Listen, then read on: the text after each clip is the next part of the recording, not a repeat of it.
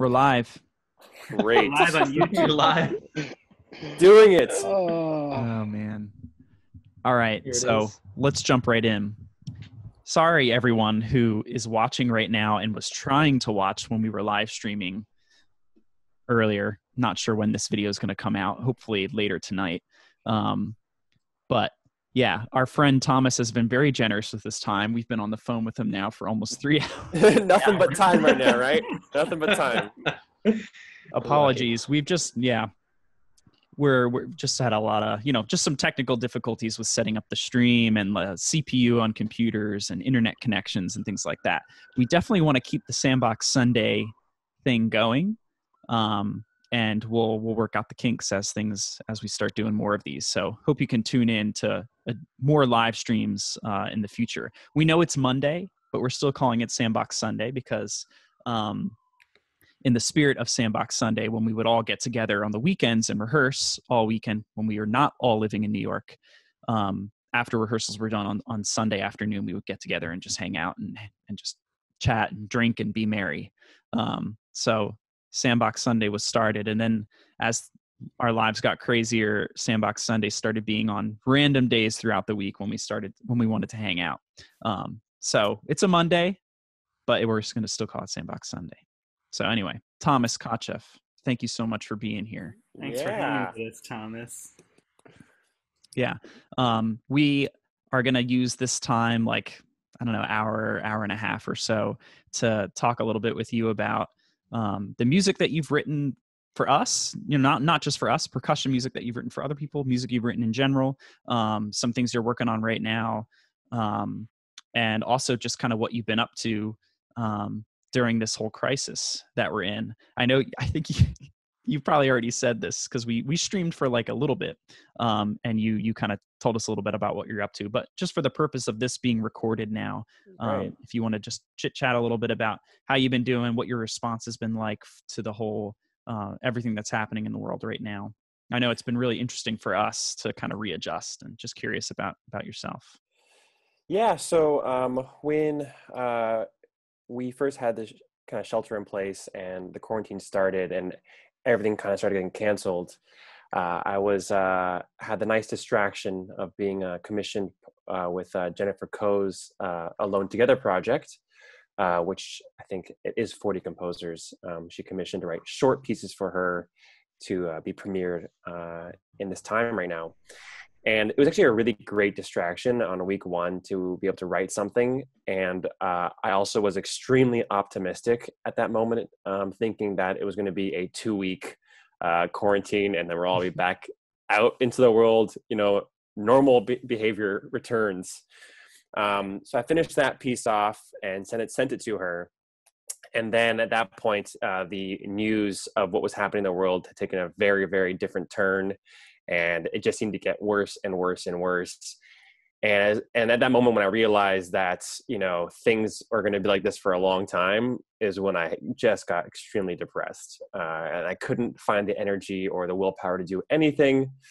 Um, i was on my couch all day in my bed all day and you know in my normal life having a week to work with nothing scheduled on there would have been the absolute dream Yeah, uh, I could just knock off like all these projects and things. And then in this scenario with the world in its current state, I just was absolutely depressed and couldn't do anything. Uh, so I kind of wallowed in that for about two weeks. Um, and uh, I, I say wallowed as if it was on purpose. I was just wallowing um, in my uselessness and unable, unable to do anything. And then uh, uh, this week, start of, or I guess last week, the, the fourth week of what would have been the quarantine, I just said, you know, I have to do something. Like I'm gonna have to make a schedule for myself, and I got to just, you know, get back to some kind of uh, flow and rhythm to my life. I just need it. Um, but I can't just sit on the couch forever and play iPhone games, you know. yeah, Uh, so I made this nine to five schedule, which includes an alarm and includes showering, you know, getting up, having break breakfast at the same time as if I had a normal f- schedule, and then getting to my office and starting to work. And actually, it, it made a big improvement for me in just getting myself back uh, to making things again. Yeah. Yeah, That's- totally. I think. Sorry, and go ahead. No, I was just gonna say that, that that that's such a that's such a good idea about a schedule. I mean, the thing the thing that I've been struggling with is like most of my instruments aren't here, and so the thing that I do all day is I go to the studio and I do whatever I'm doing with with the instruments for for that day. Right. um, and and just not having that it's been it's been difficult for me I, I think i'm going to try to be inspired by what you did it's been difficult for me to set a schedule like that for my time at home because it's so easy to just spend the entire day like working on that press release or working on the or whatever and then you find that you've actually just been reading the new york times or playing the drive or whatever the hell it is that you're doing uh, for Right. the entire day and then oh it's six o'clock so maybe it's time for a beer i don't know who, who's to say?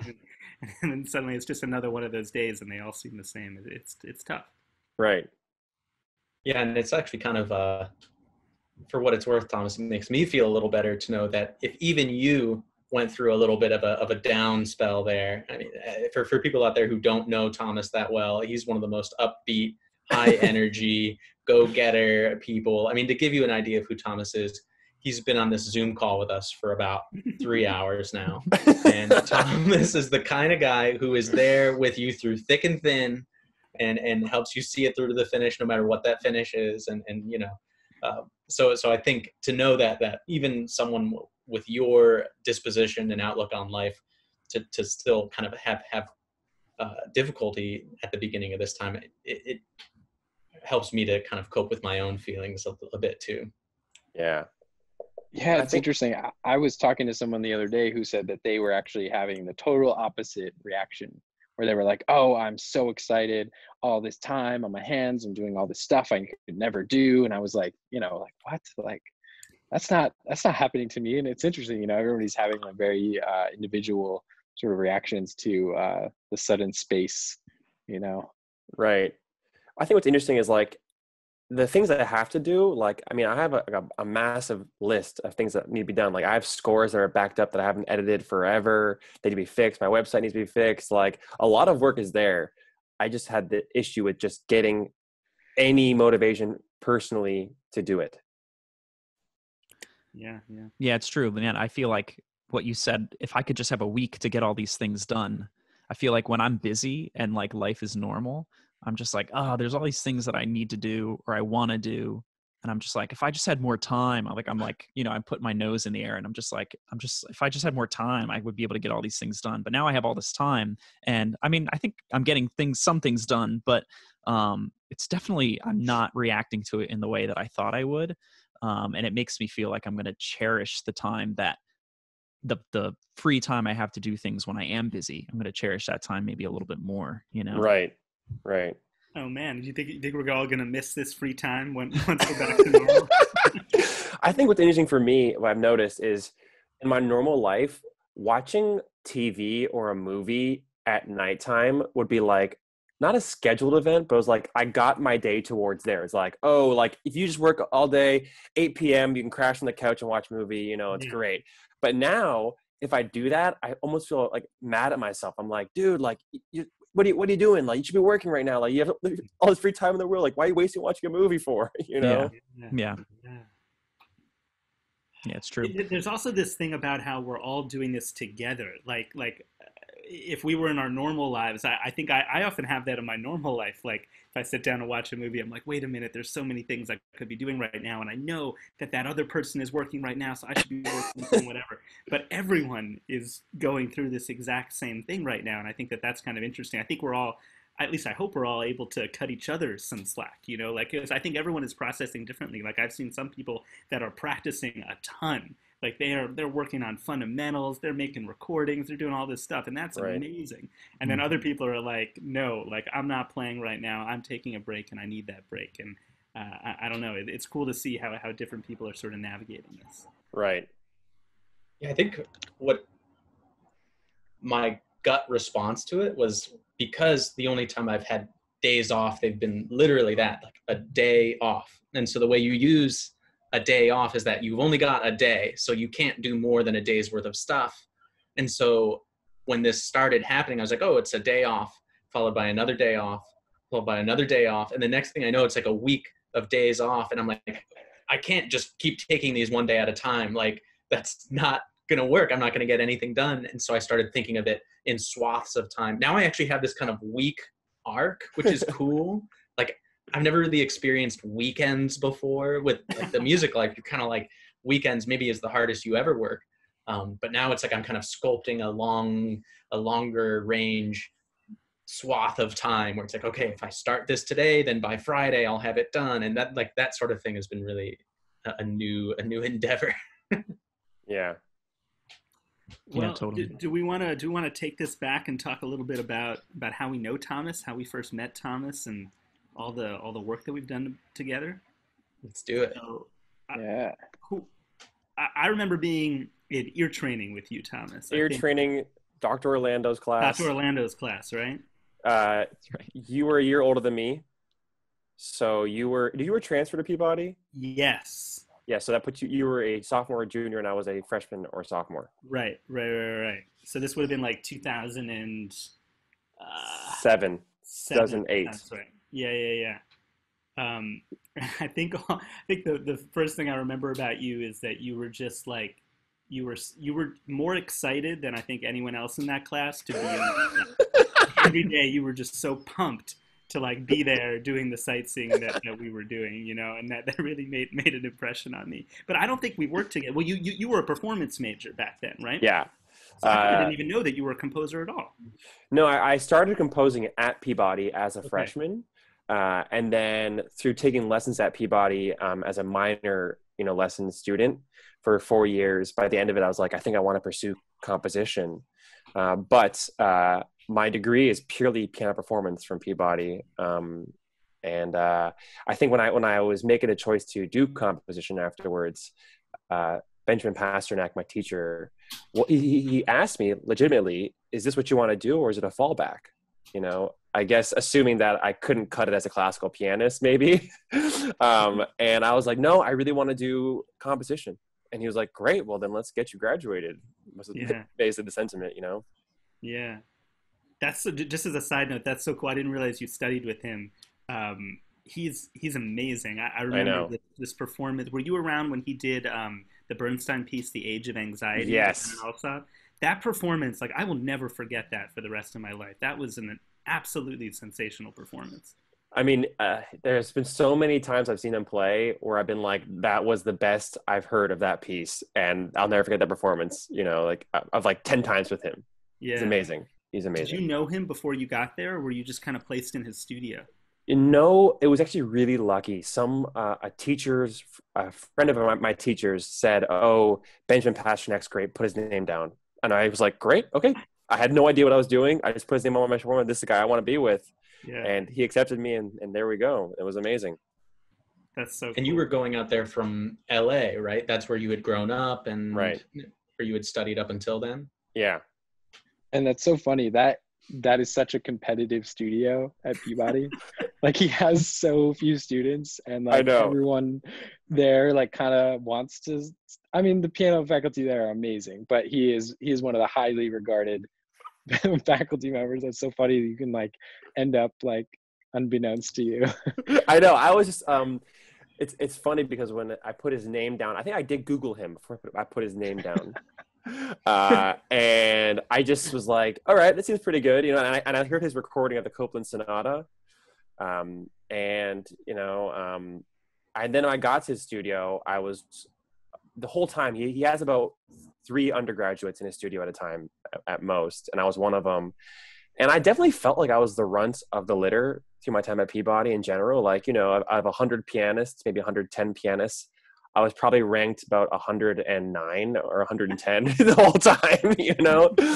um, and mostly because, I mean, obviously I could play the piano, but I just wasn't um, really cut out for that repertoire. It just never really spoke to me. I mean, by that repertoire, I mean like older music, uh, Chopin, Bach, Beethoven, Brahms. I love it. I love teaching. it. I teach it now, you know, uh, in all my courses. But it just, I never felt like I had something to say about it when I played it. I was just trying to like almost, uh, like it's like doing a rudiment or something. Just like get something done, you know, and just like complete the task of learning this piece and then play it the way it's supposed to be played. Uh, and then it Right. wasn't until I started really um, embracing my love of American music and of uh, living composers is where I actually felt like I had something to say and something to to do, and to to be creative as an interpreter. You know, I never understood what that meant until you know much later in my life. Yeah. well, yeah. this is- So sorry. Jerry. sorry. I was going to say that that's super interesting. I, uh, you know, we we obviously we don't have that kind of repertoire, but with some of our older music, I think that there is a sense uh, sometimes that it's like we, or you know, especially when you're a student, that you want to just kind of do it, do it right or something. Like Right. there's almost uh, there's sometimes there's like less freedom with the older stuff because there's like this sort of uh, expected kind of way of doing things. I was curious, uh, like, so at what point at Peabody did you decide I want to compose something? You woke up one day and you like you wrote something down, or what? What was that like? I, I think actually before I went to Peabody, I was um, doing a lot of improvisation. Like I had Disklavier, and I would just straight up like press record and just like wail on my instrument like crazy, and then play it back like, oh yeah, that's sweet, and just like you know, and just like you know, I love that stuff. Um, and then when I went there, uh, I uh, was like, you know, what I should do. I should write down an improv. I just write it down, see what happens. So I wrote down an, an improv, like just straight up, like transcribed it. And then I was like, okay. And then my second semester at Peabody, there was a course offered called Intro to Composition. And I was like, great. I want to try co- composing. Like I've been improvising. I, I could try this. So I went for the class.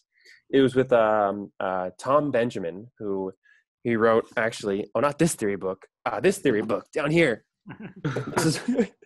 Uh, he's like a Peabody legend, and in the theory ear training world, a legend because he's wrote all the books. He was teaching um, intro to composition, and I signed up for the class. And it was me and one other girl who took the class. And on the very first day, um, Tom Benjamin walked in and said, "Unfortunately, this class is canceled because only two of you are in here, and I, we can't run a class on two people." But he said, "If you guys want, I will give you guys lessons, minor lessons. Just I have to register for a minor lesson instead." And so I was like, great, I'll do it. And so I signed up for minor lessons with Tom Benjamin, and he was my teacher for the next three and a half years through Peabody. And just, you know, we started off with writing solos and duos, and and that's how it all got going. wow. Wow, that's really cool. I didn't know that story. Yeah, it was. It's it, in the beginning, I was really doing a lot of like, you know, improv on the piano. That's kind of like semitonal, and then writing it down, then going to lesson. And he was really just he's got so much uh, technique in, in in his like you know obviously he wrote these textbooks so like it was just about understanding what it meant to take an idea and develop it and to stick with your material and you know and and obviously i went from there from being with him to applying to uh, my master's at usc uh, so you know, it was a, it was a very very fast uh, uh, learning curve and Mhm. I, I I think I developed it quickly, but also when I applied to, to USC, they most certainly took me as a beginner. Like um, I've I've talked to uh, Donald Crockett, who's chair of there, about it a lot because I see the kids that come in there now, and I'm like, these kids are way better than I than I ever was applying to the master's program at USC. And you know, I guess this, it speaks to being a great teacher or a great educator he said, "Yeah, you were a beginner, but we saw how fast you learned. Like we saw that, you know, you gave us, you know, a year of, of pieces you had written within one year, and from like that, from that where you started to where you you brought in that last piece, it was like, whoa, this person's like really developing. Mhm. And also, he said the fact that you were um, uh, just a, a pianist as well, a musician, that you had like you know that in your fingers and in your brain, also meant that you could you could you know play and had musicality and so I really also, you know, Tom Benjamin, big part, but also the fact that USC took me in as a beginner and, and, and helped me get to where I am as well is, is a big, really big for me. I have another question. Um, so obviously you you're still a performer and you're like one of these composer performers who somehow does both of these things well. I'm curious if you how how much of your time right now is composing, how much of your time is uh, other performing things, and how much of your time is like all the other things you also do. Yeah, you know, um, I feel like uh, between the composing and performing, it really kind of works. I would I would love to say 50-50, in some ideal world, but it's never that. It's like 80 20 flip flop constantly. Yeah. You Okay. know, so like I'm just like practicing like crazy for a big concert and doing like that's like all my time. And then when that thing's done, it's like, oh, and then the piece is due in three weeks. Okay, so I'm gonna you know spend five days straight writing right now. And then so like it's a big these big swings in time. Um, I think I've, I've really tried to work hard to get better at time management um, for all these things you know, and really trying to schedule like long term over the year how it's going to work my, my general flow of learning pieces and, and sustaining them and taking on big new projects of com- composing. Um, but it's hard. It really time management does get tricky. You know, I just did this big um, Frederick Rzewski performance. It was a 75 minute solo piano piece, and essentially I had to take off to do that. Um, I took off three clean months of, of composing to do it Yeah. Wow. yeah so the first four months of the project where i was learning the piece i was also composing simultaneously within that and then when i was uh, when i had about three months to go before the all the shows started coming up i just had to take time off and, and just practice Yeah, there's something to be said for that, though. Like, I, I, I mean, I'm not a composer, but but I sometimes feel like in my own life, I'm unable to split my brain between practicing multiple huge projects at the same time. Like sometimes I just need to focus exclusively on something, and I feel like uh, that that just might be the way to do it. You know, that you might not be able to be creative in a compositional way when you're trying to play a 75 minute piece and record it the day after you you know that just Right. all your time and that's that's okay too yeah but i also for me i know that um, my brain is constantly like working on things when like i'm not doing them so like if i have this big piece that i'm writing for like i mean i wrote uh, a percussion duo recently which we, we might talk about in a minute uh, but you know the the impetus for that project starts six months before I, i've written a note and the whole time it's like going through my head i'm i'm, I'm figuring things out I'm, I'm like constantly thinking about the piece and what i want to do with it and while i'm practicing my Rzewski, it's like still in there bouncing around and then when it comes time to do it it's like things work themselves out in the last four months in my head and i'm just like more ready i'm ready to go you know? Cool wow. So that's that's that that is the positive and also you know being a performer you know i draw so much inspiration from my colleagues like that to me like the reason why i love doing what we do and the reason i think why i'm also uh, i have a whole nother life of doing like this broadcast hosting and radio hosting is 'cause i love our music. I i play my friends music and like it inspires me it brings me joy. And then i'm playing i'm like oh that's a good idea. I should do some of that idea. And i, I want to go with the idea too and and i'm just building and building and building off their music too. And to me that's like what it's all about you know yeah That's really cool. that, that, that that's a really nice point like when i when i think about the different parts of your career like one part that always stands out to me is the the way that you're a cheerleader for for our art form and our community and you really embody this thing that that we try to embody as well as much as we can that like whenever someone else succeeds at something that's actually a good thing for everyone in our community. You know someone Right. coming up with a, with an incredible idea in in a percussion piece is awesome for all other composers because now they can like be inspired by, by that idea and do their own thing with it. Someone inventing a new instrument or getting a new gig or whatever it happens to be. Um, but it's hard to put that into practice but i really think that that you honestly believe that you're, you're honestly just Right. and happy about what other people are doing and that's it's wonderful. it's true you know i mean uh, obviously there there like any human being there are times in my life where you know my ego just fights me and it's like you get jealous you get upset you didn't get something you think you wanted something falls through but you know also there's times like you know when i'm like you know the last two pieces viet has written for percussion I literally when I when I heard them I was like oh like yeah I was like I was like literally running around my room like cheering like I was so pumped like they actually excited me to like to hear this it, this level of invention on a piece of music you know the the piece for you guys and the piece that he wrote for Jeff on the on, on snare drum piece Mhm. I'm just like this is awesome you know um, yeah I love it I just love it That's so cool. Yeah. Well, maybe that's a good uh, segue to talk a little bit more about the percussion music that you've written, um, because uh, I think that there is you. I think you've you've created a real voice for yourself, kind of in the percussion community. Um, I think I, I see a lot of students playing your pieces now, and and it's really cool. You know, since we put out some videos and things. yeah it is cool Um, yeah, I mean, I think the first piece that you uh, wrote for us that we played was hammering. yeah Um, throwback throwback, yeah, was actually well, it was for Norfolk. Right. Um, for those for the people watching who don't know that, uh, Thomas and and the four members of Sandbox who are actually slightly different members than are here right now. OG Sandbox. OG Sandbox. that's right. Um, we were at Norfolk Chamber Music Workshop together um, in Connecticut, and Thomas wrote a piece, a mallet quartet called Hammering. Um, then kind of reworked it, uh, made it a little bit longer um, for Sandbox. I think that was like a year or two later. Um, Right. Made a video of it. Played it. Was that your played it idea to make it longer? I think it was your idea. Really? I thought so. I, I feel like I honestly I have this distinct memory in my head of, of you coming up to me and being like, because you played the original.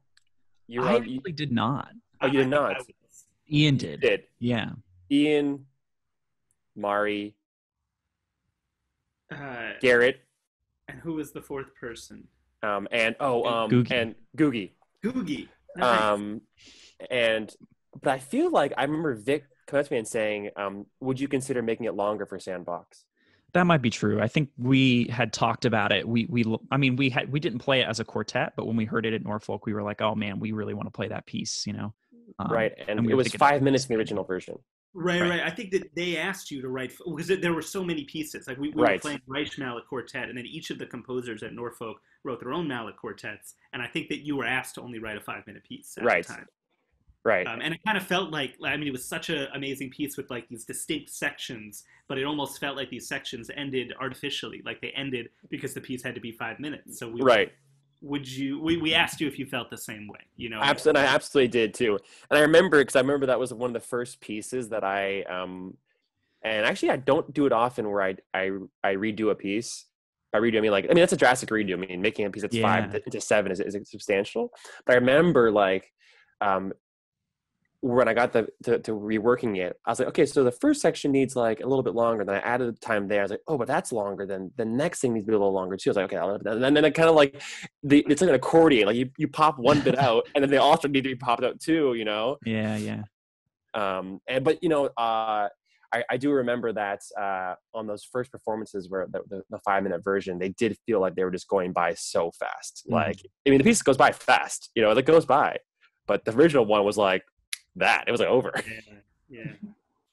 Yeah, it's true. Yeah, it, it was a hard piece. I also remember that because at Nor- Norfolk we were learning so many pieces. I, like I think I've just blacked out that entire it was so insane. But I remember your piece. I mean, your piece at the end, especially, like it has lips. Like it's really fast, and people are playing in unison. Like even though it's it's chromatic and kind of dicey in terms of the harmony, the you're you're playing the same notes as other people. So they're Yeah. really obvious when you miss them. And I can remember Bob giving us a really hard time about not playing all the right notes. I will say. Oh, go ahead. I actually played that. I pl- I think I played. It must have been the five minute version, but I think I played. I was at Peabody, and I did it the fall after you all premiered it at Norfolk, and I did it with like a group of other Peabody undergrads, and we spent like a maybe a whole semester. I, I don't know, a significant amount of time working on this piece, and it was super hard for that group of people. I remember coming back to his sandbox actually and being like, "Oh, awesome! Like this." I, you know, I had I had kind of gotten a taste of a little bit of it, but then I think I remember coming to the new seven minute version, being pretty psyched about that. Did um you play the same part at Peabody as with Sandbox? I don't think so. Hmm. I doubt it. He didn't get he didn't get a choice with the parts in Sandbox. That's true, Right. If you haven't noticed, I do remember. Um, uh, I, and this I have to give you credit, Ian, because remember you wrote the ending, the last I- measure. Oh, You- you wrote the last- so many different. The quiet part? the. Yeah, because the original ending had no that um bada bada bum the very last measure with that little tag at the end. Yeah, And I remember you um at a, a rehearsal in that back room behind the the main hall, like that really Yeah, weird yeah, back room.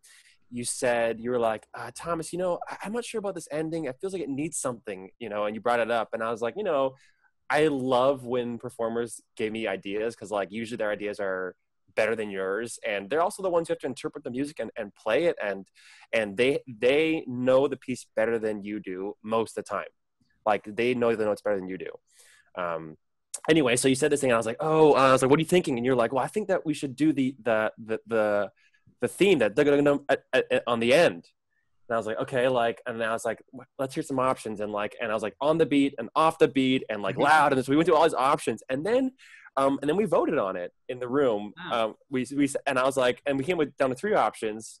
The one I had, the one that you suggested, and then another one which is your idea, but on the beats, like dugga dugga dum versus mm, dugga dugga. I think something Uh-huh. like that. And Yeah. then everyone voted for Ian's option, and then we went with it. I had forgotten that. I had no idea. Wait, so how, how did it end? How did it end the way that you had it? Wh- It just boom ga boom ga boom ga. That's Oh. right, right, right. Dugga dugga. right. Yeah. Yeah. It's well that's boom. cool because i like how icarus that piece ends with a little tag at the end Right. So when really, I, hear, I mean not that you were thinking about hammering but when i hear it i think of hammering No, I, I do. I've done a lot of tags, and maybe Ian really ushered in the the era of of Kotcheff tags because like all my pieces need them, you know. Yeah. yeah. the middle era. yeah. So was was hammering like your first percussion piece, or you'd done some before that? That was the very first. oh Uh, my gosh. yeah, Were you like still in undergrad at that point, or were you already in grad school? no, I I just finished my, my master's. You just finished your master's. Okay, Mm. cool. Um, you know, I I grew up loving percussion music. Um, I think my passion for it really began with seeing Stomp and Blue Man Group, and just thinking that that was the best thing on on earth as a kid. And then at Peabody, you know, seeing uh, PPG uh, play was like life changing, really, for me. You know, uh, Ian knows this, and you guys know this too. But you know, uh, when I was a sophomore, I saw Ian perform um, Third Construction, uh, and for me, that experience, I changed my life basically. Like uh, I actually started crying in the audience. Like I was so overwhelmed with the experience. I just could not believe a piece like this existed. yeah You know, it's it's like hearing like a language that for once like spoke to me It was like at that moment I was like, oh, like ah, ah, like this is it. Like this is what I've been looking for. Is this thing? You know, um, and uh, yeah, I mean, I still think it's the greatest percussion piece like Yeah. probably ever written. I don't know. It's definitely my top one, the top two. It's hard to top that one. Who were you? Who was that with, Ian? Um, that was uh, Adam Rosenblatt, other Nice. other uh, OG Sandbox member, Candy Chu, and yeah. Greg Jukes. Oh yeah, yeah, yeah. Okay. remember that Solid group. yeah It was Oh, yeah. amazing. And so, you know, from there, I just always had this like love of percussion music. Like it has stuck with me. I started just like devouring repertoire, all the obviously all the PPG pieces and then beyond. Just, you know, um, it's really nice with percussion is you can get this thing where you actually know almost all the repertoire. Like it's actually, you know, it's it's like, you know, if you do your homework, you, you can get there, you know? Yeah. Yeah, It's you're true. not you're not so far behind if you start now. right um and then when the norfolk thing came around uh i just feel like i hit the, the lottery because i was like great we can write these mallet quartets we can write these two percussion two piano pieces like this is exactly what i want to be doing and want to try.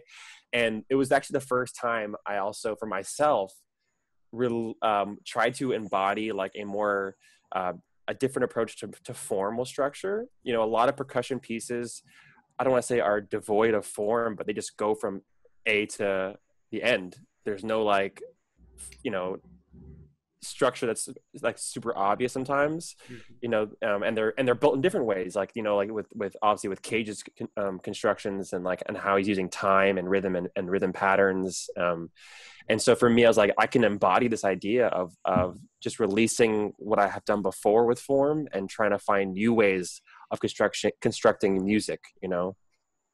That's really interesting because I remember when we did the video with Justin with Part and Parcel.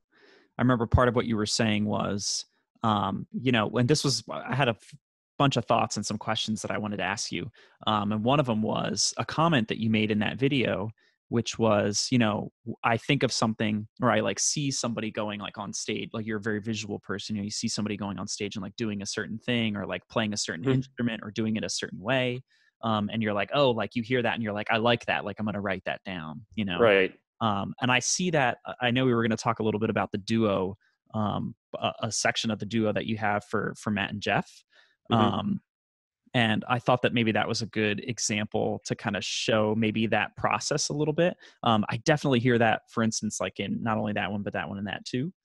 Um, nice work. that was good. Yeah. um, where there there'll be just like these moments when I'm just like, oh, I like I could I could see you dreaming that up, you know, and and hearing that and imagining that and then writing it down. I guess I was curious a little bit about what your your process is like for when you sit down to write a piece like how you think through those sorts of things like if you really truly try to visualize things and, and put them on the paper you know yeah you know I, I feel like you know there's a lot of uh I don't want to say mystery that's that's like hanging over like composing as if it's like some sort of secret art, you know. But really, in my mind, it's it's not so secretive. I like to think about it like the way that we learn to write an essay or the way you learn to draw a picture. You can learn to compose. If I said to you all right now, can you draw me a red barn on a piece of paper? You'd all dream up in your brain what a red barn would look like and then do the best you can to get it on the piece of paper. Mhm. and then because we're not all artists it, the drawing won't really match what's in our brain. We'd be like ah like ah, it doesn't look the same but uh, it's it's there. I, I, I wish i could do that. You, you try and explain why you missed the drawing you know? Yeah. I feel like that's what we do with, with composition. Like if i asked you guys all to imagine an oboe melody you'd come up with something in your brain. You'd be like mm, you probably see some weird thing in your head and then you want to get that out on a piece of paper. And the more training you have the more you can match what's in your head to what's on the paper you know? Yeah that's such whether a it, that's such a great analogy i like that. Yeah whether it's like um, in your articulations your dynamics your your metering whatever it may be you know with all my students they have awesome ideas but it's hard for them to get it from their brain to the paper because they're not you know that's what we work on all the time. Um, and so uh, when i i'm working on, on a new piece i'm always thinking about the ensemble and just saying i mean percussion's a very different um, beast because you actually are building the ensemble so it's you really have to imagine it. But let's just say it's going to be a string quartet. I'm imagining that ensemble and like thinking like what do i want to hear them play? Like what, what are they playing? And the, and then i start to like run through ideas and, and scenarios in my head like is it fast? And like oh it could be fast and then i'm trying to play it out how to go you know? And and I don't have perfect pitch, so it's not like I'm like you know Mozart sitting in the cafe writing down you know notes, but I'm I, it's all through my imagination. Um, and then same thing um, when I'm also working with the percussion music and and and building these setups. I'm literally sitting there with like my little percussion map, um, uh, which I've drawn by hand, being like, okay, so I'm standing here, like I'm playing that. Is, is you know maybe I should put to the right over there because if it's over there, then then that thing makes more sense. And I'm trying to like figure out how it should look and how it should to that to be executed correctly. And that's the keyboard you're building for the piece, you know. Mhm. Yeah, totally. Well, I mean, we've been chatting for a little bit now. I want to give people an opportunity to hear your music if they haven't yet. You know, um, should we? I know we're recording, so we're not actually going to do it right now. But I'll drop in a video at some point. Should we maybe try to do that now with? Hammering, Yeah, Maybe with yeah, hammering. Kind of hammering what we were talking about. Great, yeah, the- do it. The uh, the Kotcheff tag at the end. That's right, the Kotcheff tag. Enjoy. No, the the Ian tag. Yeah.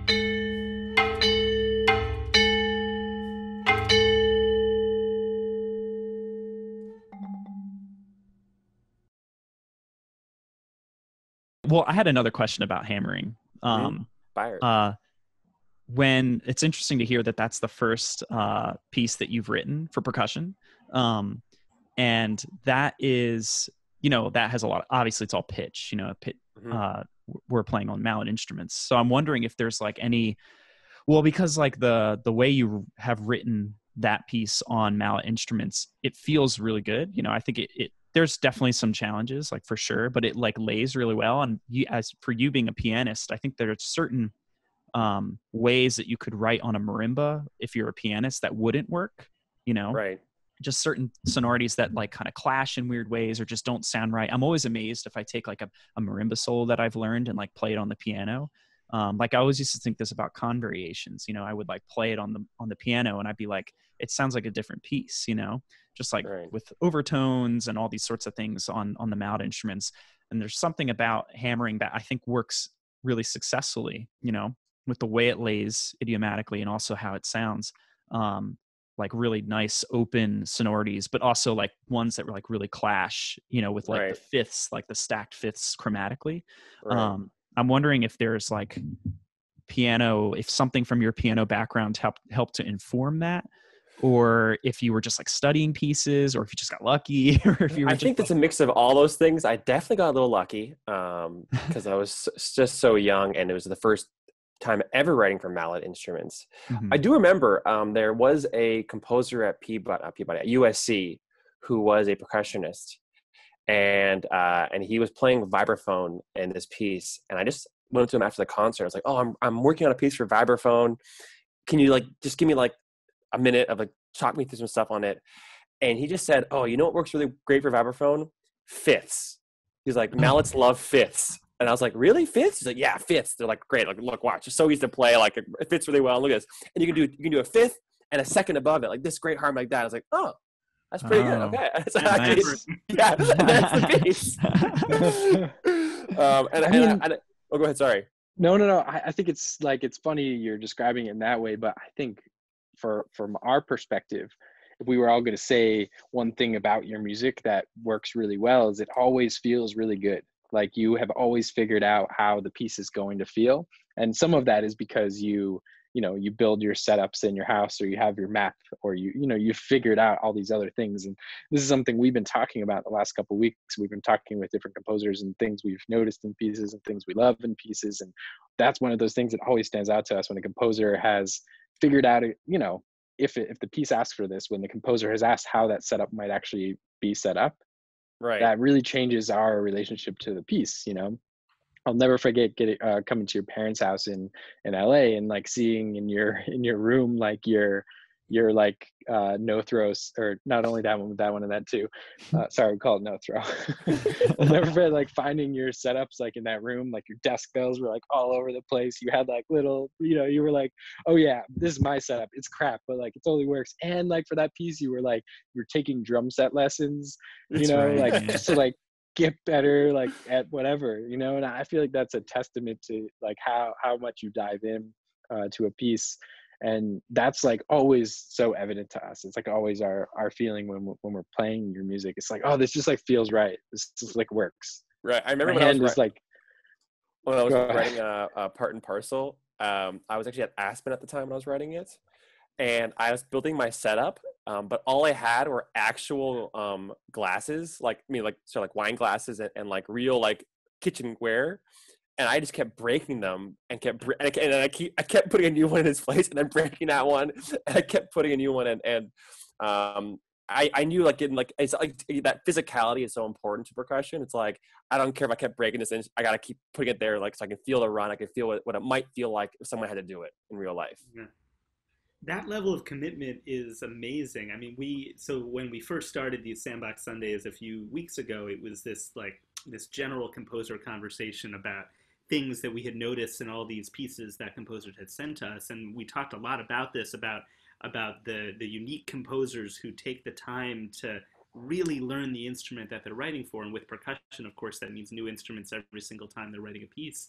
Um, but I, I, one of the other guys said this already, but it really does show when we're playing your your work. It's so clear to us that you've taken this time and this effort, and it just allows us to to skip the annoying logistical steps of trying to set everything up and figure out what our stickings are going to and all this stuff and go right to the music making of the whole process like we can just skip right to those steps because you've sort of helped us figure out the logistical part of it and i'm not trying to say that your music is easy because it's definitely not but but we're not wasting any time uh, with those things trying to tell you that things are impossible. You've already done that part for us. Which is- right yeah i mean i, I think that uh, obviously the best inspiration for that right now would be andy akiho who maybe is the absolute king of just building these setups that you're like what? Like I, how could you have come up with that? It's like i mean half of writing for percussion is just like building the instrument and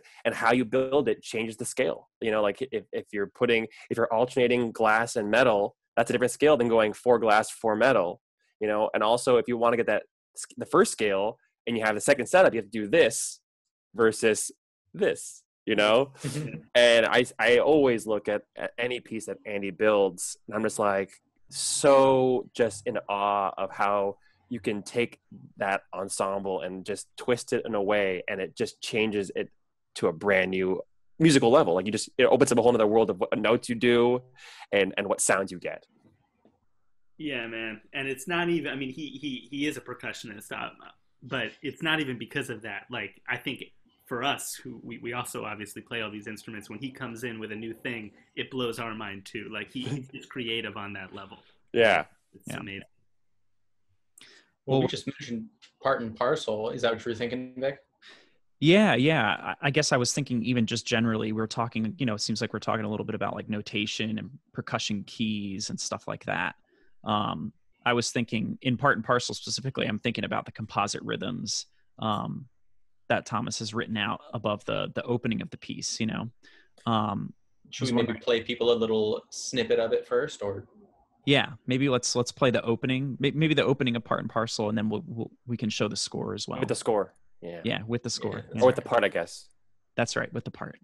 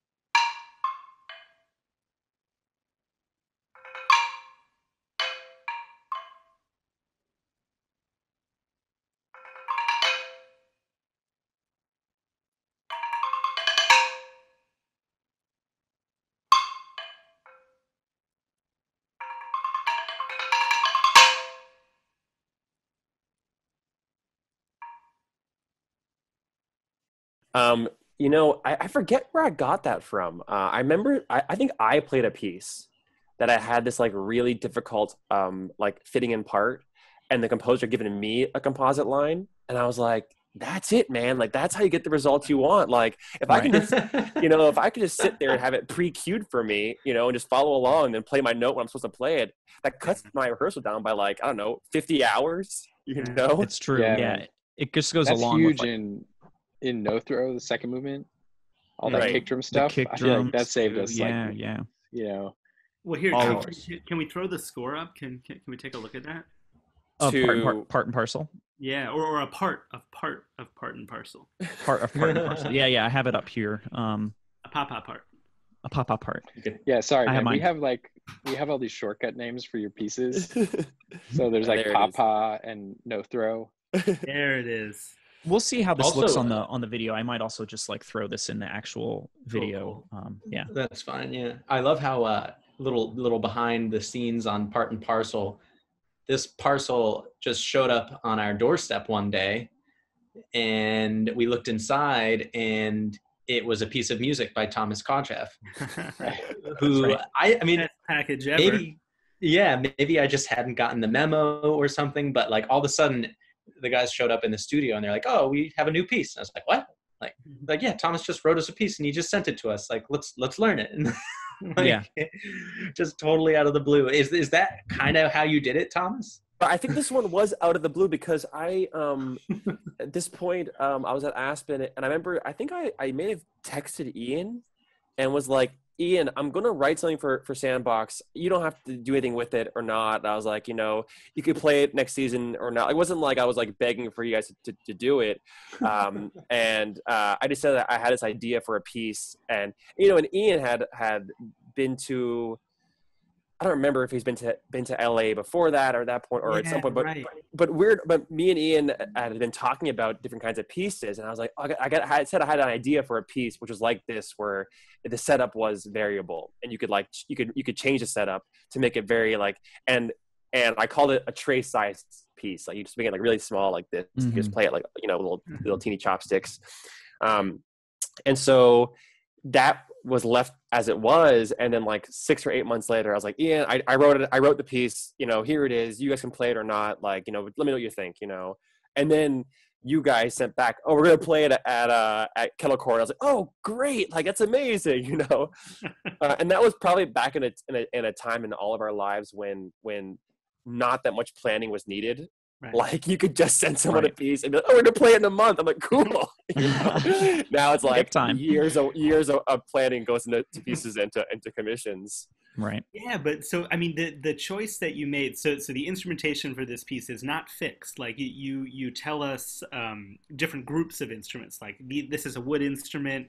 This is a glass instrument. This is a pitched metal instrument. This is an unpitched metal. But after that, it's totally up to us, um, which is kind of like a big decision to make. You're really uh, you're ceding a lot of the control of the sound of the piece to the performers. So like, w- was that was that like an initial idea? Like, was the whole conception of the piece based around that choice, or did or did that come later?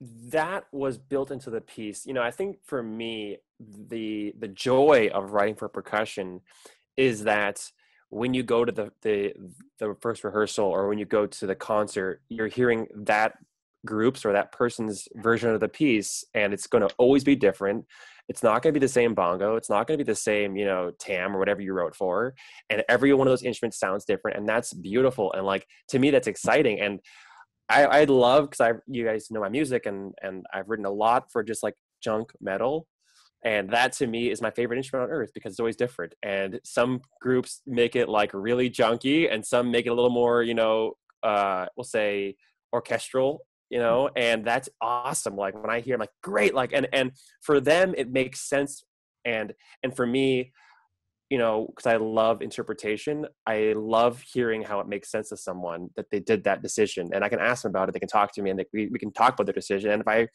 I rarely will feel strong enough to change their, their instrument on the, on their setup, you know, unless it's really the wrong thing. But, you know, I, I, I for me, that's like the joy of percussion. Yeah, that's that's amazing, and I, I feel like one thing.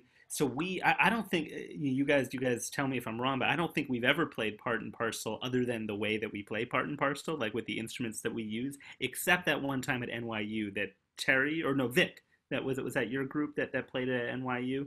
Oh yeah, it that's was great. Terry. It was Terry, Terry. and that, that that completely changed the setup. Um, but I feel like it would be a cool thing for us to to try it again that way. I mean, we came up with a version of it that we really like, but it's not actually such a small tray that you play with chopsticks. It's like a little bit of, of a bigger thing. Um, so it, it would be fun to do that. But I, I I've loved seeing various performances o- o- over the years of the piece that have been different in in some key ways. Right. I mean, I, I think, you know, what per- performers aren't, maybe they, they are taught this, but aren't, they don't take enough like um, liberty with is their role of interpretation and, and drawing conclusions. You know, like, I mean, the reason why I love Rzewski so much and his music and people who play Rzewski is he just opens up the, the, the score. I mean, every piece has a chance for improvisation with the Herman. It says optional improv here and and just the fact that he releases that and says if you believe something should happen here you do it but if you don't believe it then you just go on and you keep playing my music you know um, and a lot of interpreters of Rzewski, you know, play it the way he plays his own music, which is very, we'll say, liberal with with the following the rules of the page, but also making, I'd say, making informed decisions. Like they're saying, oh, this part should go faster for X, Y, and Z reason. There's no charan on the page. There's no faster tempo marking, but it goes faster for a variety of reasons they believe in, and that's what we should be doing when we interpret pieces, new or old. It's you guys know my music, so you know maybe what I want, and I'm sure you're doing a lot of stuff intuitively, like oh, you're putting things together in your own head and just reinterpreting them and, and playing them. Um, but young performers should be encouraged that to make informed decisions based on what they see and what and and and the music of the person playing. Yeah, and I feel like you as a performer, like like that opinion that you just stated, like it has so much to do about you as a performer because you literally have to do that every day when you're interpreting other people's work. You know, right? And that, that's such a do, do you do you think all composers not that all composers should be performing all the time but do you think that all composers should have some kind of performance experience to get in the mindset of it in that way? I i, I tell my students that it's really important. Um, i just say to them you should try and play someone else's music that they've written for you because you'll understand what it means to have to absorb that material how to learn that material because oftentimes it's like it may be misnotated or whatever and it could be hard to read and then you have to learn what it means to to to go in front of people and represent that material. You know and that's the biggest thing which composers don't understand is someone else has to go to bat for you at the end. It's not you up there it's them and they're the one making the pitch saying this is good stuff take a listen you know? Yeah. Um and it's it's uh it's almost critical that that composers understand what it means to perform and also vice versa. Uh, performers understand what it means to compose where someone just spends like potentially six months coming up with a with a, a lick and then you're like this lick's awful i'm not going to play it. And it's like well i spent like six months trying to write that one lick you know? And so there's, a, there's definitely that, that balance that, that i think for me i understand pretty well and i'm still learning on both sides but younger musicians can definitely empathize with both sides of the equation. Yeah yeah, it's a really hard thing. I mean, it must be. I'm not a composer. It must be hard as a composer to to spend all that time on something and then give it up to someone else, knowing that they're actually in control of what an audience is going to think of it in some way. Like whether they do a good or bad job interpreting it or or just executing it could determine whether or not you know Johnny, whoever watching the performance, thinks Thomas Kotcheff is a great composer or not. Like that's right in their hands. I, I've only had really one experience in my life uh, where I had a premiere and it was really played so different than what I had written. I felt embarrassed because I realized that there's no way for anyone to know what this piece is, but based on what just happened in front of them, which was not the piece. And so I felt uh, like it's not, it's not my music. And so in that scenario, like, you know, a piece like anything that you guys have played where there's documentation of it, it's out in the world, it's been played a lot. Like you, someone could go out there and just do whatever they want to the piece, but people still know that there's other versions that exist that have been put down in a, as an artifact, you know. But it's those premieres that can definitely be scary with people you don't know and they don't play it the way maybe that's closer to what's on the page. I would say is important, you know. Yeah. I have a I have a pivot question, if that's mm. okay. Yeah. Um, so you're a composer who we have kind of worked with over many years and we've done kind of many many different projects with. I'm curious if you could talk a little bit about uh, like working closely with performers and then also just like how how maybe this or your process has changed like over time for for writing pieces for us. Because obviously your last piece was this huge huge thing that was uh, i think you know a different type of piece than uh, a part apart. Right. No part apart is, is Vic's part and parcel. Part and parcel. we can edit that. No, leave it in. That's in there. I'm sorry. A lot, a lot of uh, parts in the name. I, I, you know, I, I. It's funny, you know, for me personally, I, I look at my rhythms, and I see that as being where I've developed the most, and what I'm interested in exploring. Like, I yeah. look at you know the rhythm in in hammering, and I'm like, okay, like, yeah, you know?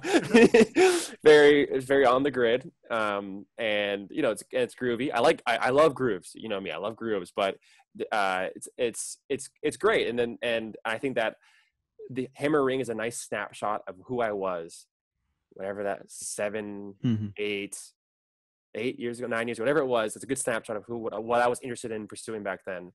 And then i look at part and parcel and i similarly see uh some stuff that's a little stiff for me now but I do see things that I was interested back then. Like I, I do love, you know, uh, four six measures, five six measures, and and triplet quarter notes, and that hasn't left me. But I actually have really gone gone away from that. But there was a time for like two years, which I was like obsessed with a four six measure and and a five six measure, two six, um, and and then I look at, you know, uh, not only that one, but that one and that too which was 2015, uh, 16, whatever it was, one of those two years.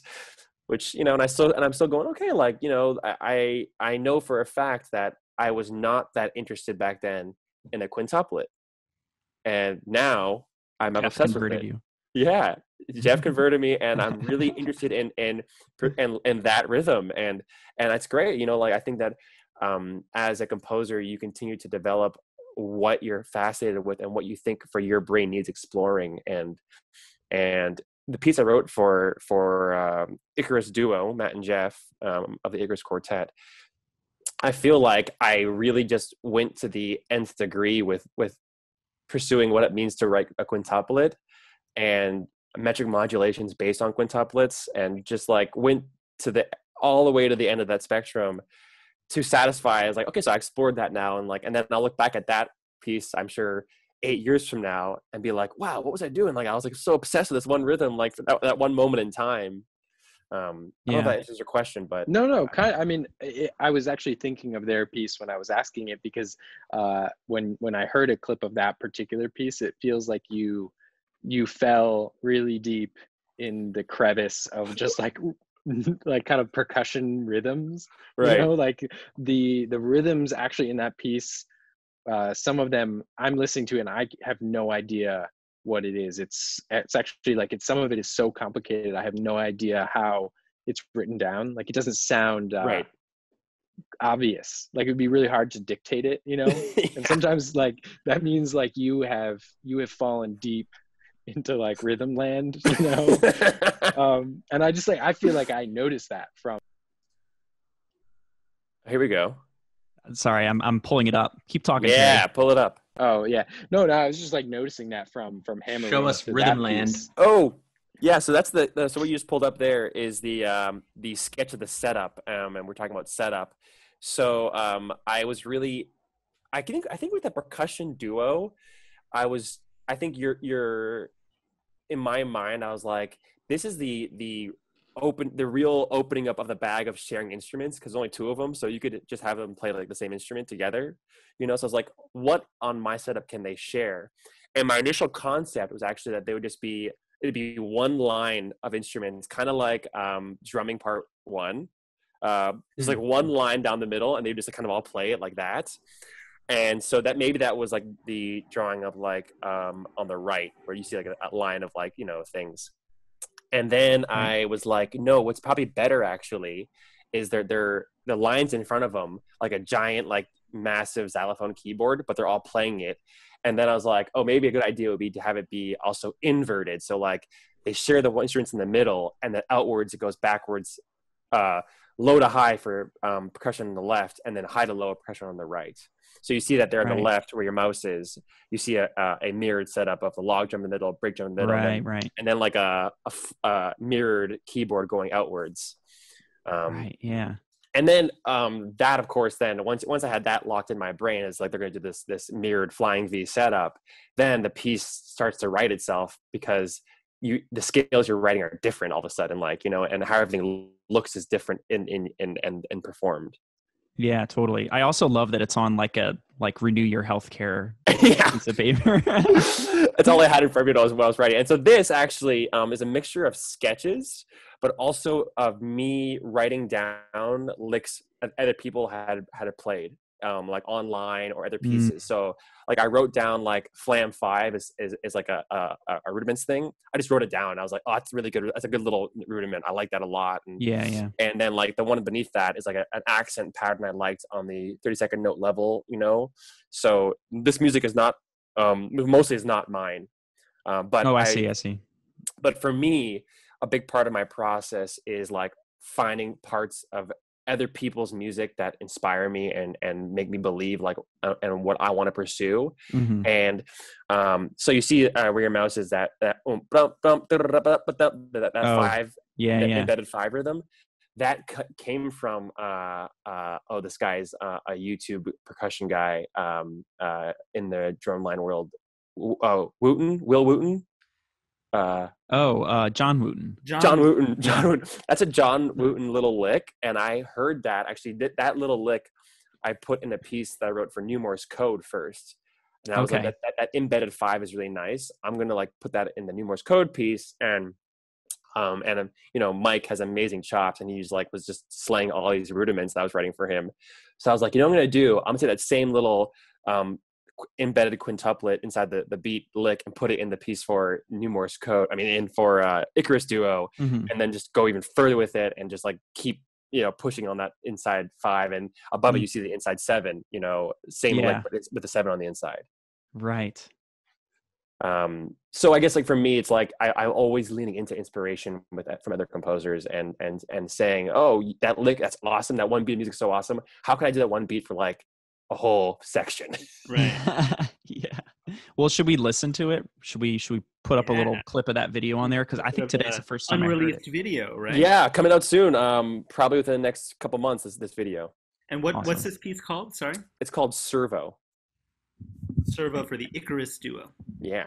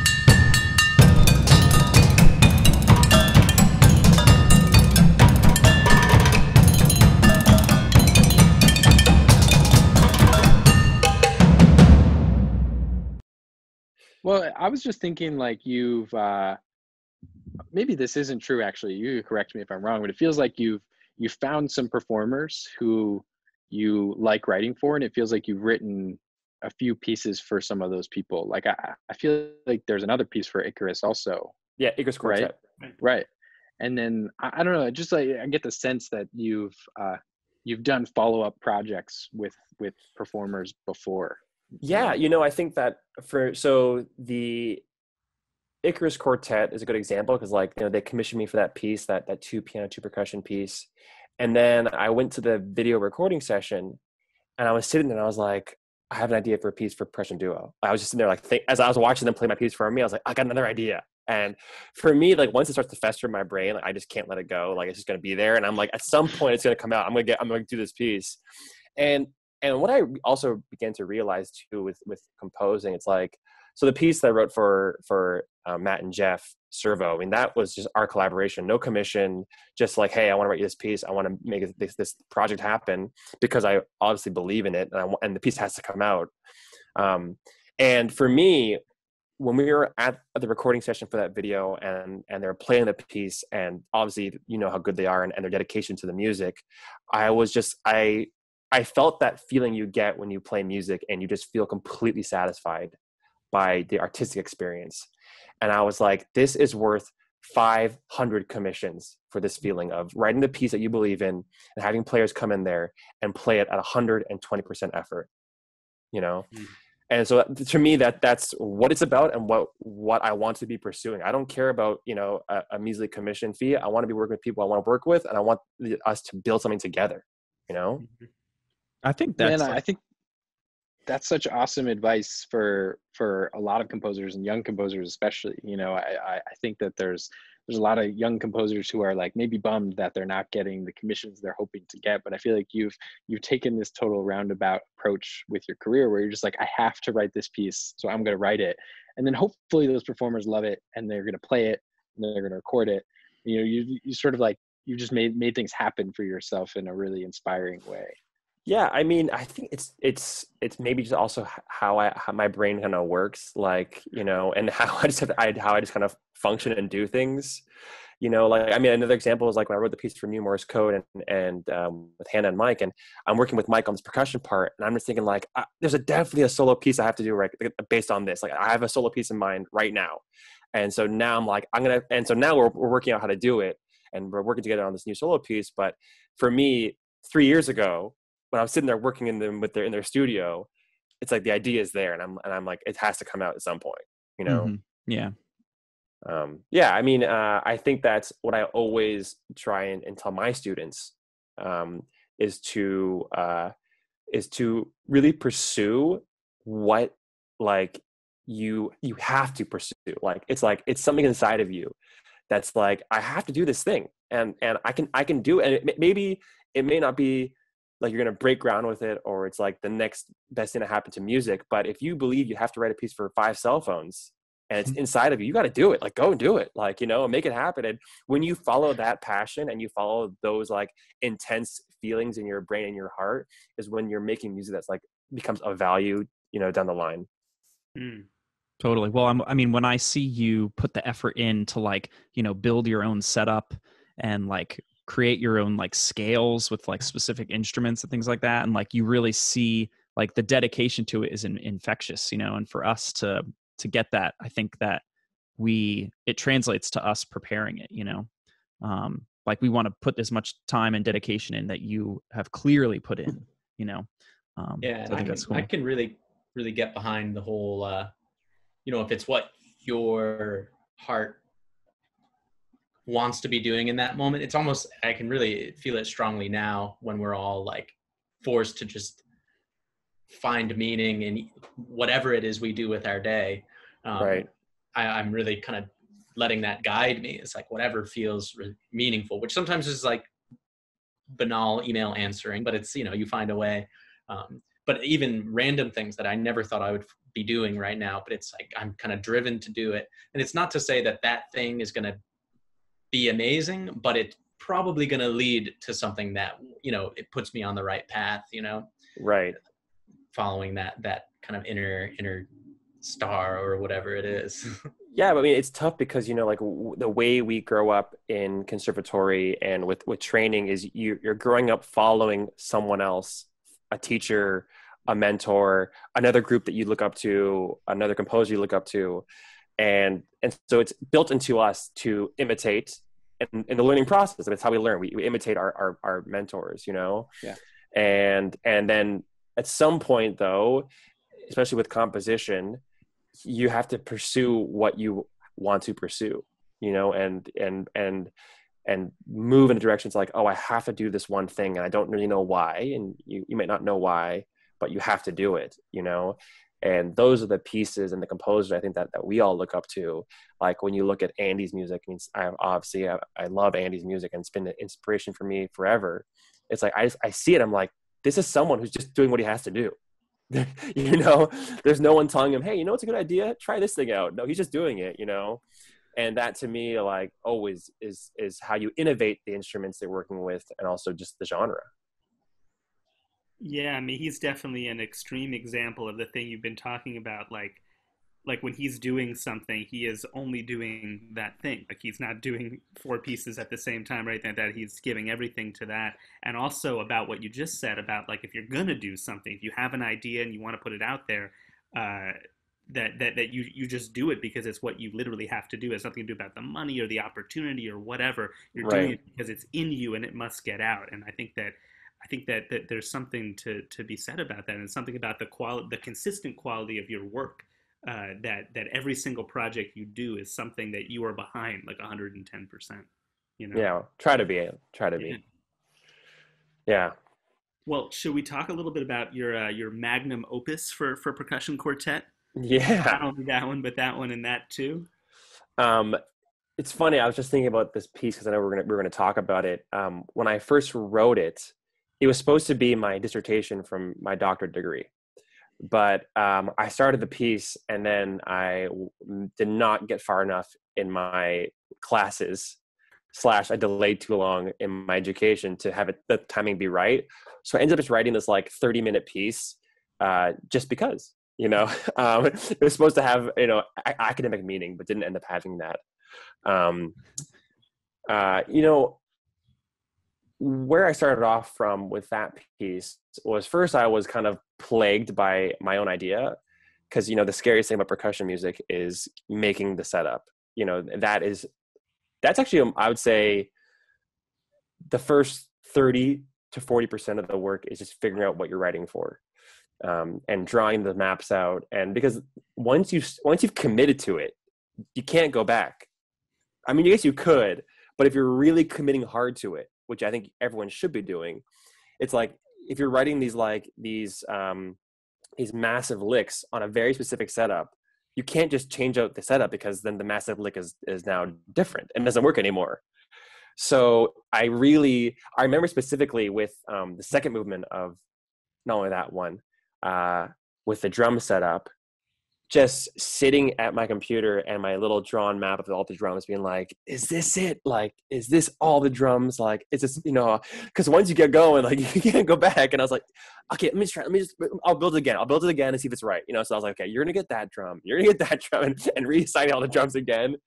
Um, and and yeah, so that that in a way held up working on this piece, but that's always part of the process of, of writing, even for like the, the most recent one for um, Jeff and Matt. It's like, I cannot really get going until I know how it's going to look to make sure everything makes sense. Yeah. Well, one, I mean, when I think about that, like the instrumentation for this piece is huge, right? So the first movement is tons of wooden instruments, second movement, tons of drums, third movement, all, all these metal instruments. But at least for us, the thing that made it possible uh, was that you spent all this time in our studio, literally like like you did an inventory for us. That's basically Well, what well Vic did the inventory and sent it to me, but I was there looking around first. I poked around and then I was like, "Oh, Vic, can you send me the, the list of everything you have?" And then I got this like massive text. He's like, uh, "Metal, metal pipes," and it's like, "Broop, broop, broop." I was like, "Okay, okay, okay." And so the list the is like phone. this massive text Yeah. going by all the instruments. No, but, Um, but you, you only wrote for those things. So even though there's like 60 drums or something like that in the second movement, they were literally like three rototoms because we own three rototoms. yeah, Check. yeah exactly and i think specifically about the third movement too you know like the Yeah. bowls and like the desk bells and all the glock bars right. those are all specifically ones that were just in our studio you know Right. Um, yeah. So obviously, it was in, for a piece of that magnitude, and for you guys, it was important. You guys had everything you needed to do it. You know, I wasn't gonna ask for uh, Tibetan, you know, prayer gongs, you know, that are super rare. Um, but uh, what was the first piece in the in the repertoire that does uh, wood, skin, metal? I think so-called laws. I could Is be that, wrong. is that the first? I, you know, it's funny. I, I thought it was so-called laws, but then I was just online last week. I was trying to remember, and I saw an older piece. Like it wasn't Cage, it wasn't Xenakis. I was looking through all the the, the, the iconic older pieces that had this Yeah.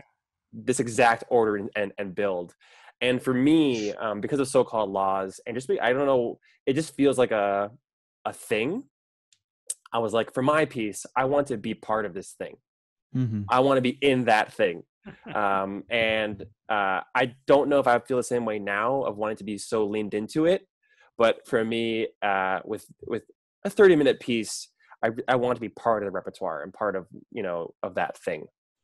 well you definitely capture each of those like families of instruments so well you know um like it's i feel like it's a part of you know that that thing you're talking about but i also think it does it in like a really unique and cool way you know Oh, that cool. feels very unique to your music Yeah, Yeah. I mean, it shares a, a scope, and I suppose those rough instrument groups are the same as as the Lang piece. Um, but that's where the similarity is. Yeah. You know, There's nothing else that's the same about those two things.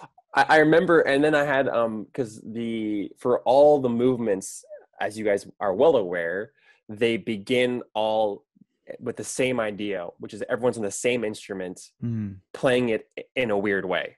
Hmm. So that was also part of the design. It was like, okay, so we're gonna do wood. We're gonna find one instrument. They're all gonna play it. And it's gonna be weird. And how is it gonna be weird? So let's figure this thing out. You know, it's like, okay, second instru- second movement. Yeah. So the first one uh, is claves, and uh, I feel like I, I I I came up with some stuff there that maybe was, was the first. Was I the first? Oh, it's Dude, the hardest first time I've ever done that that. has ever been written. I think it's the first man. I felt pretty good when I was like, wait a second here. I think I'm onto something, you know. Yeah. Um, and I remember I went into my uh, to my lesson because I was back then I was still at USC doing my doctorate and I was still in lessons, and I was like, I wrote this clave solo, uh, and I was like, it's basically the the composite is, is a unison, you know, more or less. And I was like, let me play it for you. So I pulled out my claves, and then I was like, I'm gonna put in earplugs. I think you should plug your ears to my teacher Donald Crockett because it's gonna get really loud in this really small room. And he's like, really? I was like, trust me, it's mm-hmm. really loud. and, I, and I played through the whole thing. And he was like, he was like this, plugging his ears. That's was great. He- awesome. and he was like, he was like, wow, yeah, okay, okay, you know. like, It's incredible, man. Whenever I when I listen to it, because we recorded, I don't think we've mentioned this, but but this piece is featured on our album that came out a couple months ago. Um, the album is called "And That Too," and that and that too, and that one too. that Um, one too. yeah. Uh, so that piece obviously I think, has I think like, just and that too, right? is it in that too? How many times have I written and talked about it? Why why do I not I know, yeah, it right? Hundreds of times. Album Hundreds release of concert. times. Anyway, um, Sorry, and that one too. We're right. oh, I There was we right. go. Okay, there we go. Okay. Beauty. So anyway, it's the last piece on our on our album, and every time I I hear it, I always feel like there's that one middle section. It's like it, it, it kind of like develop. It has like an intro, and then it kind of like develops for a little bit, and then there's like this moment when we're all doing like all the different techniques. You know, it sounds like like this crazy like synchronized like uh military march you know it's like incredibly like martial and it's just like yeah it just sounds like these like crazy shoes that these like people have on and they're like marching down this like cobbler street or something i, I don't know It's like a tap dance or something. yeah, yeah like a tap dance I, I don't know it's just so cool um maybe actually, For the music video. yeah exactly it'll be that I- I do. I do that think that. Oh yeah, great idea. yeah yeah let's let's let's play a little section of that in the first movement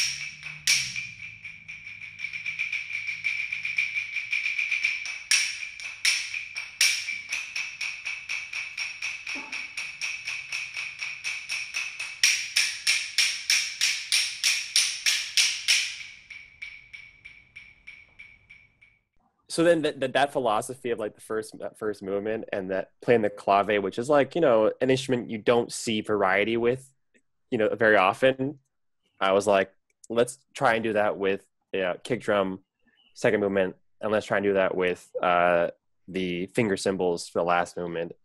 Um, and i was really quite proud of of also the, the finger cymbal stuff and that all those ideas that came out of that with the uh, obviously Ian's part uh, with the dead stroke and the shing, you know, So like cool. it, it doesn't, I mean, that to me, that's not like I innovated the instrument, but just it's such a good sound. I was like really happy with, with that. And, and just trying to maximize an instrument that's usually minimalized, like just like gets one little ding and then that's not all they get, you know, Mhm. giving it like this full quartet experience. Yeah. that opening gesture is just like it's like the sonic equivalent of like a cold shower or something like that. Like it's Yeah. just amazing. Yeah it's crazy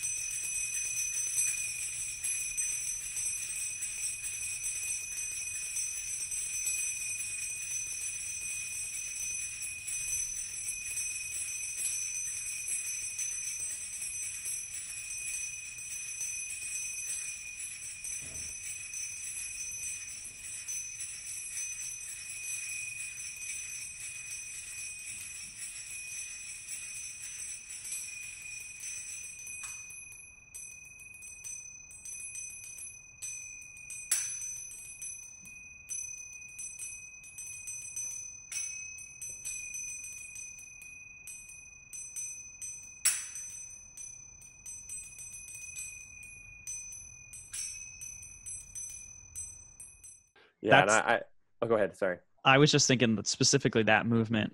Um, you know, I, I love the how you notate it. You know, how you notate Right. like essentially you're notating a. Uh, well, let me just let me just grab it really quick.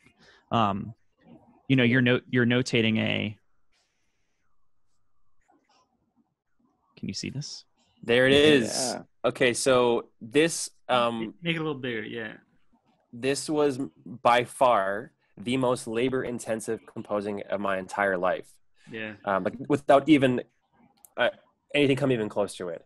Um, because I really wanted um, the ensemble. Well, my first idea was that that we would have um, these, I guess, six lines of counterpoint. Let's see: temple bowls, desk bells, metal pipes, crotales, and glock. Five lines of counterpoint. Mhm. I was like, there'd be five lines of counterpoint, and they're going to be going around the ensemble in opposite directions, you know, the whole time. So you, if you want to follow one line, you can go all the way around the room and follow the metal bowl line. If you want to follow, you know, so that's kind of how the idea started. And then I also was like, but I also want that the for this to uh, for this to occur correctly, that it goes in a single line. There's no bouncing back and forth. So the metal pipes just go down the line Mhm. the desk bells just go down the line. There's you know, and and so then I to do make this happen, I had to build my scale and then reorder all the pitches to make it into a single line. So you see there, like the desk bells, the line is different octaves, different pitches for both both of them. So that way, if you play the lick from percussion two to percussion three down the line, both of them, you have the complete. It's already been composed. Yeah. It's the motive. Yeah. Yeah. Um, so once I, I came up with this idea and this key, which is in front of you, I then wrote out the music, but the music was written normally, like Mhm. jumping around like crazy, knowing where the pitches were, but like all like bouncy, bouncy pitches. Mhm. And then once I wrote it, I then had to translate it via this notation key onto what's on the page, which ends up looking like a bunch of white notes. Right. Um, and I want the simplest thing ever. right. It looks just like uh, C major and flat the whole time. And I know. I remember you guys came for the premiere and and we had that Temple Bowl mix up with Johnny where Johnny was like, Is this right? And I was like, Oh my god, like I don't know. Like I was bringing up like my old papers, like trying to figure out the notes. I was like, okay, so that was a B, but then but then if that's a B, then it went through that thing, and like you know, and I don't know. It's when you look at the score. Can you can you scroll to the score? Like, it's, it's far down. Yeah. Yeah.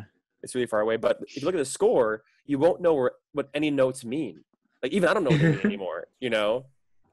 Uh, go. that's- yeah, getting this real is one of the pieces that we have to have pictures of our setups because when we play it again and we look at our part, you know, it's just like C to C in a Right. scale, you know. It's like it's this. a really interesting question because, like, like, like you just say, when we look at it, this is not actually telling you anything about the pitch content of what you're going to hear. Right.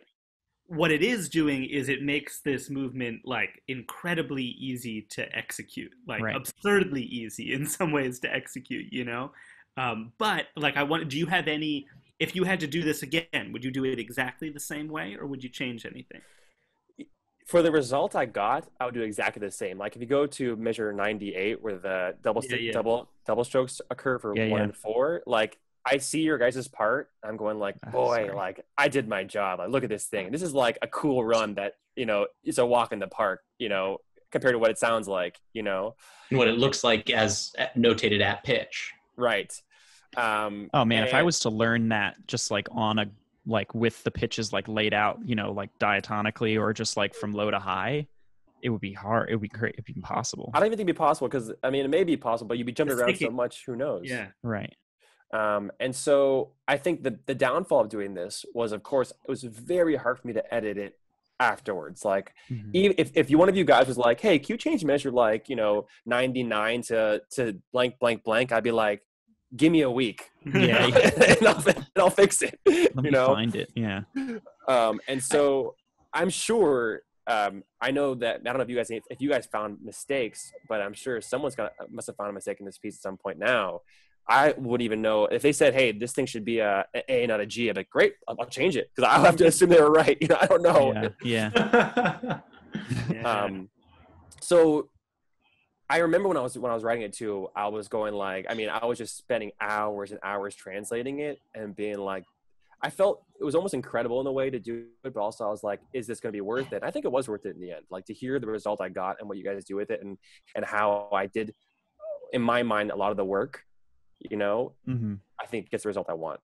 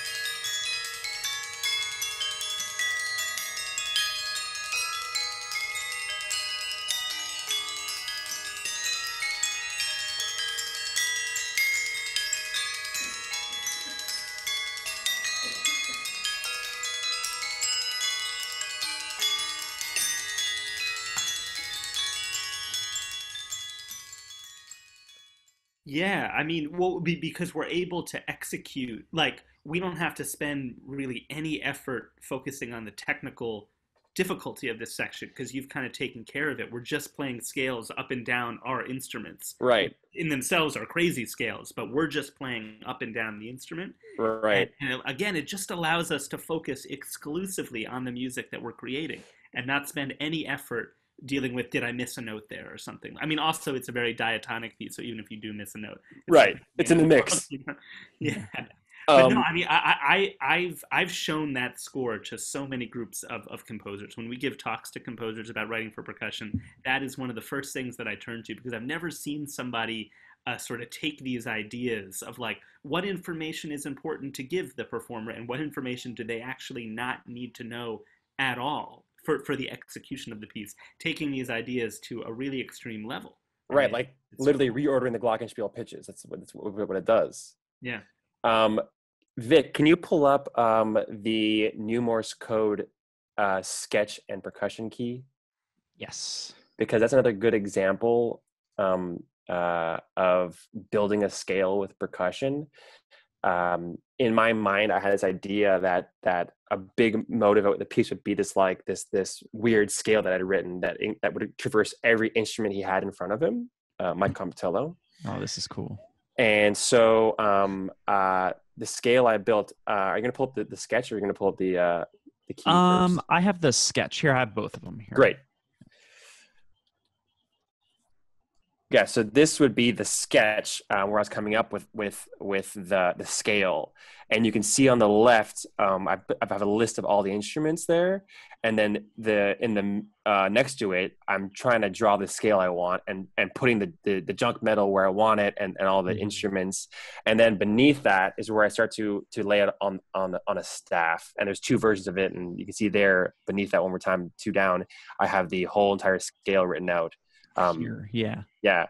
Um, and then if you open up the percussion key, you can see it not in my chick chicken scratch. Um, Here we go. Sorry. yeah, so there is the whole scale written out. So the scale would go cocoa bowl, wood bowl, snare drum, five wood planks that are tuned, metal, junk metal, five glass bottles tuned, another junk metal, five wood blocks, junk metal, and then the scroll buster at the end. But that I don't know if it was in, in the scale. Scroll buster is like a, a scroll call. Like Nice. Like- yeah exactly um, and so basically my idea was that if if i order the instruments in this way and and mike sets it up in this way he just go and you get, you get all these different like sounds happening and and the jump middle in between all that to make a clean scale so again talking about you know reordering the keyboard to make and then if you pull up the, the score excerpt Yes. Okay, that is. There yeah great so you see how in mike's part 181 he's just running up that scale bottom to top you know because i've re- i've ordered the pitches for him to do it that way and it goes over and over again over and over again same scale same scale Same, order. scale. So he doesn't have to worry about like going in and learning it. He just plays exactly what you already dreamt up. right Yeah. and if you can imagine if if the junk metal for example was not done in that fashion if it was like you know put in other parts of the, the staff it would be this very be a mess. angular Yeah. non-conform like not really clean scale Mhm. Yeah. No, it, it's so funny because I, I could see, I'm trying to imagine like a performer's argument against this if they could have one, which would be like when they're looking at it or when they're trying to translate what they see to what they hear when they play it, there's such a disconnect there. And I even think that's true with, with no, no throw in the third movement that we were just talking about. Like it took me a little while to retrain myself. So now actually when I look at my part, I hear it the way it actually sounds now because I've been playing it for, for a while. But in the beginning, it, it was it was a disorienting experience to play Glock bars one, two, three, four, and have them jumping octaves. and yeah like Yeah. that. I mean, I still think in the end you made the right choice again because you just made it so easy, and we don't have to worry about the technique of playing it at all. But it is like that there was there was a small bit of learning curve. I'm not saying it wasn't worth it. Right. It'd be like if someone gave me a piano and I'd reorder the pitches and I'm trying to play them like a C major scale and it's coming out like, you know, something totally backwards. Totally. Um, but, you know, and, and, and, and then I, I think that the big downfall, which I, I do have to say is looking at the page and you, and you, and the page basically has very little visual meaning. Right. Right. That's what That I'm is, thinking. that is a, that is a loss, I think, because, um, of course music lives live. It lives on, on, on sound Mhm. but you know for composers our our work is in the page and writing it down and if the if the page doesn't match the sound it always feels a little bit i don't know you feel a little uncomfortable you know I suppose if you really like, if someone requested it, like, did you ever think about making like a score at pitch oh wow! or wow something like that for for the movie, like before you put it through the key? you might need another. You might need another pandemic to do that. yeah another year of work to, to to undo that thing Not Yeah, this yeah, one. Next one. Um, But yeah, It's- that's a good point. it, it's true i mean like i think that's uh well you know on the first movement of of and that one too when you asked me to rewrite your your section Oh, yeah. That's do right. you, do you still play your, on your your special part I don't know if I play. Wood- I I- might, wood I. I think I you might do. play on the old version. Oh, really? I I don't play on that version. I think I I play play on the on old the old, right. So so in in this piece, how many slats do we each have? It's like seven, or eight. Seven. Seven slats. And Seven. when they were first written out, they were just like all the lines, and I was trying it once, setting up the slats kind of like a chromatic scale, and then reading them that way. And I had Thomas make me a part. Did that take you a while to do? No, because it was only you know X number of bars. It was like thirty bars of music. Well, so he he made me this Right. part that had me playing like chromatic treble clef scales on the slat, even though those were not the pitches of the slats at all. Um, and I think it was it was cool. I think I ended up changing my slats and not having a big enough table to. I for some reason, setting them up in that way did not end up working. Mhm. Uh, so I Right. think I do it, I do it the new Oh, Right. You wanted them chromatic instead of diatonic in a line. Yes. Right. Right. I also thought it would help me. I actually thought that that would help me technically, and it's. I remember in the recording session, I would literally miss notes that like just going one through seven as fast as we had to. I It's sometimes hard, play the same one twice, but doing it as a chromatic scale was like a much more. It's like have you ever heard of like like these um, orchestral uh, people in auditions who play um, what what what's the excerpt? You know, it's a C major scale, like two and a half octaves. Oh yeah. That one and they'll come in with a xylophone that instead of a C major scale, they've re-strung it so it's like a chromatic scale or something like that. they play a C major. It's so easy, but they play the C major scale that way. They bring like two xylophones to the audition. Well, I think Is that that's a lesson. Petrushka? No, Something, it's um, Salome, I think. So- right? There you go. That's it. Right? That the is C major definitely it. xylophone. yeah, that's Well, it's right. I remember two and a half octaves at like quarter equals 160. It's like really fast. and just All white notes major. the whole way. Oh, Yeah. yeah, it's insane. Um, I think that I, I have actually learned that lesson a little bit about um, how it, it, it can be easier to have it be in chromatic because um, uh, on their duo with Matt and Jeff, they built my mirrored setup but did it kind of more chromatically. So it's it's like alternating up and down with the metal and the glass versus my idea was a line. Yeah. And then and then when I watch them play it, I see why that's better because you you can that that that speed you can get by doing it. It's the same exact idea that I had, but easier to go like this than like this. You have less distance to travel if you get to Right. stagger. And you're out of your own way as well, you know. yeah. Yeah. Yeah. That's true. Maybe that's why, you know, you have black notes on the piano and not Right. just white notes in a line, you major know. scales are the hardest scales to play. So I've been I, Right. I um for this piece for uh for them and they came down later to record it, they needed a lot of glass bottles for it. And I wanted a lot of options. So I started like just saving up all my glass bottles for like a good like six weeks, including a very big New Year's Eve party where I just kept all the bottles afterwards. So they, they I need showed up. these. they showed up and I had like I kid you not like 40 bottles to choose from, including some really big ones like a, a handle of gin and a handle of, and a and a magnum bottle of wine. There's champagne. Yeah. Yeah. And so and so but so then they they chose the ones they liked and they did the recording. And afterwards I was like, great, I now have 40 bottles. Like what can I do with this? And so then I put them all in order, chromatic order. Uh, from and some were doubles, and I got rid of those, and I ended up with a very solid uh, 21, 22 um, notes of a scale Wow. um, that work Is really it well. like microtonal or or just straight chromatic? I, I deleted all the, the the quarter tones out of Okay. it. Okay. I mean, I deleted because it's hard sometimes to tell, but it, for the most part, it's it's it's pretty pretty solid like chromatic um, bottles. That's cool. Um, and That's and I've awesome. I I played a little bit of Car on there, uh, Karakurenai. Oh, But it's yeah. actually what I realized. I'm so used to the piano version of it that it, it's very hard for me to, to do the ostinato correctly without my hand just being right there to do it. Like Yeah. Yeah. I feel that way. One time, the first well, Ter- Terry does this all the time now, but the first time Andy made me play the right hand of Karakurenai on metal pipes, so they were just lined up in a row, and he was like, "Do that right now," and I was like, "I can't do that right now." Like, Tell me about it. that. The same Every thing, like, without the Thing in Pillar Five is just driving me crazy. Yeah, yeah. Right.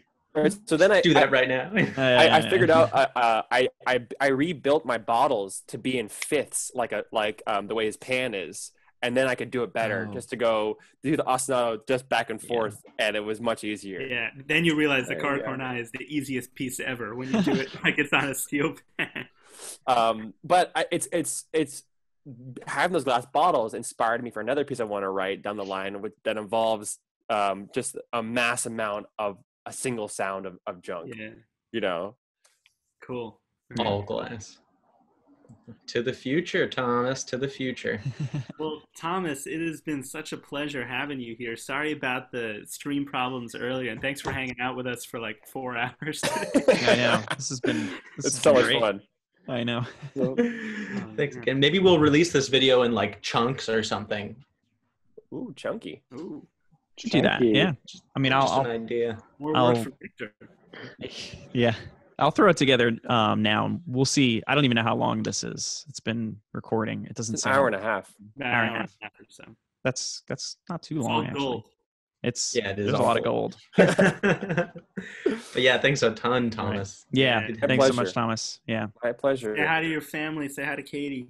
I will say hi to everyone. You guys stay safe, and uh, Will until the next time. All right. Cool, man. Thanks, man. Yeah.